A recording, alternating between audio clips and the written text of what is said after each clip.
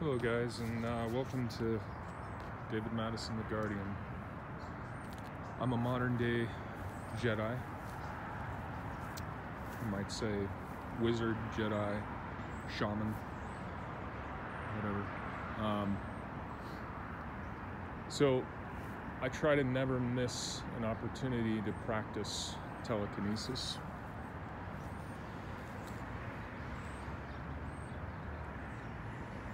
So while I'm waiting, I'm kind of waiting here at the Safeway that's on uh, Route 119, right by the Starbucks, for my buddy to pick me up for work today. And what I tend to do is I tend to walk over here to this these set of trees here and practice the Qigong exercises, specifically beat uh, Ji-Ben Qigong, which is a series of eight exercises um, that you can learn about on YouTube from this guy named Damo Mitchell. He's written at least two books. Um, so a book to Taoist, um, Taoist uh, Neigong, and then and then he wrote like another book that's more comprehensive, which is called the Comprehensive Guide to Taoist Neigong.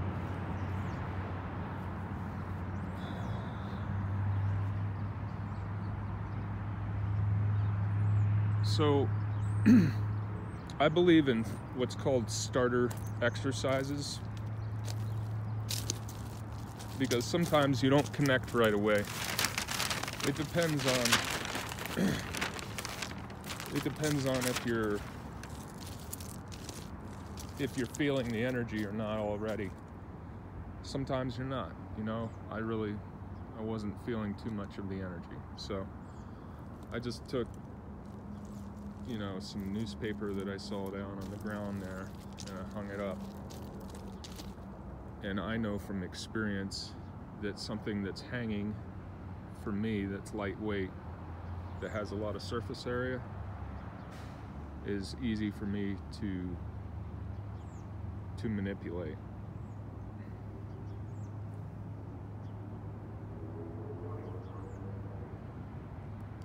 And then once I'm able to manipulate this, then I can look over here to maybe like a hanging vine. I can make that vine move.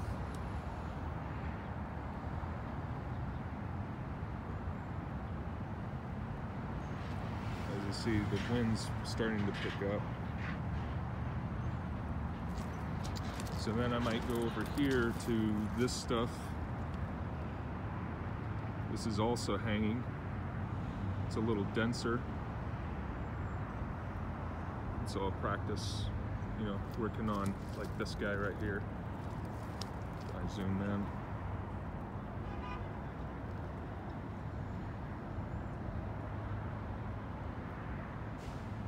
It's good to practice both um, area effects and more spec specificity, I think it's called.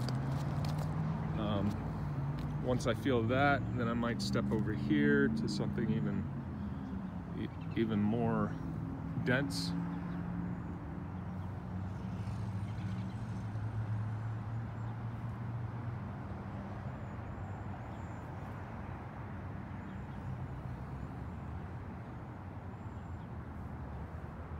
So I might have to work on the top it's less dense of the plant itself and work my way down.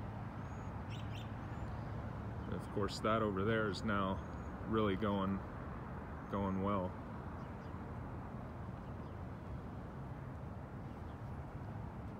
Then I'll sink my energy into my legs and pull that energy up through my feet Back up. I'll keep in mind that there's the cord tied to my feet, but also tied like to my tailbone going down into the center of the earth.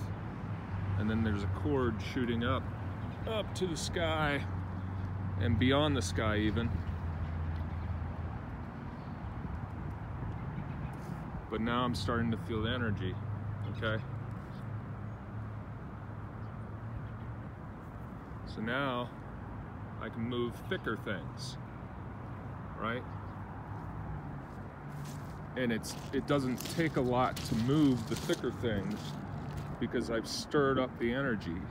Um, I'm now I'm now in resonance, so I can just kind of I can just kind of build on what I've already done. But if I hadn't already, if I had just come over here cold and tried to tried to move this tree, I might have been able to do it, but it would have probably taken me a long time.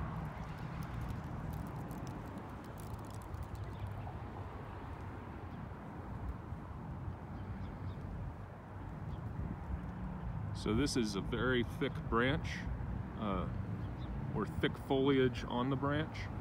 It's like an evergreen. It's not quite like a pine tree. It's more like a scrub tree.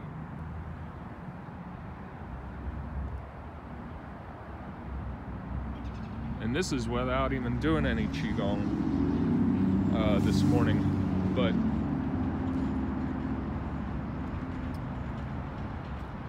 I, I feel this is important to have what I call starter exercises.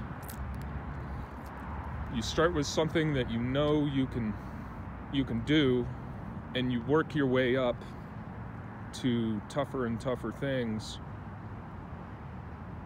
And at some point those tough things, now if you look over here, it's not really moving anymore, right? You go over there, newspaper's just kind of sitting there. Okay, now it's moving a little bit now that I'm paying attention to it. But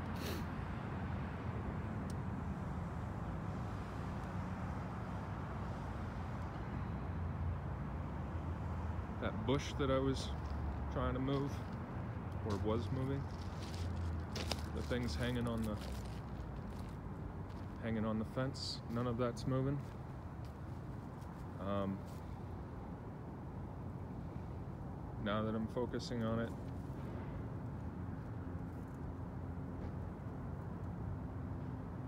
That vine is moving. Now other things are moving around the fence. Now right in front of me, this this tree branch that's right above me is just the tips of it are moving. Okay, so starter exercises you can do those outside, but you can do them inside too. Um, I believe in having core exercises that are easy for you. Something like spinning a psi wheel. And then progressing to harder and harder things. So for example, you spin a piece of tinfoil, small, a small piece of tinfoil on a on a psi wheel then what you do is once you feel in resonance with that, then you put a jar over it. Then you practice putting your hands on the jar and trying to continue its motion. Then you take your hands off the jar and you try to continue its motion. Then you stroke the glass. You try to see if you can get any motion, right? Then you take the jar off the tin foil you take the tin foil, you invert it, and you stick it on like a, a sphere that's that's sitting in something so it won't roll. And then you try to spin the tin foil or rock it up and down. You either try to spin it or you try to rock it, try to make it vibrate while it's balanced on the sphere. practice with different size spheres because different size spheres will have smaller and smaller uh, points of contact. The smaller the sphere, um, the smaller the, the point of contact, which means the less inertia you're going to experience. Then I might do something like paper on a psi wheel, paper inside the jar, paper spinning on the sphere.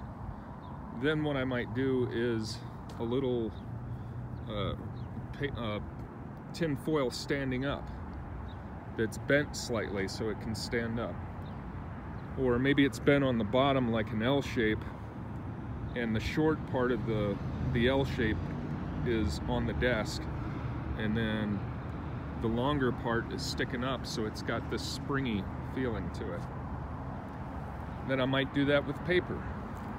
You see how I'm building I'm building up the skill set and I'm I'm building up the orientation to be harder and harder and harder.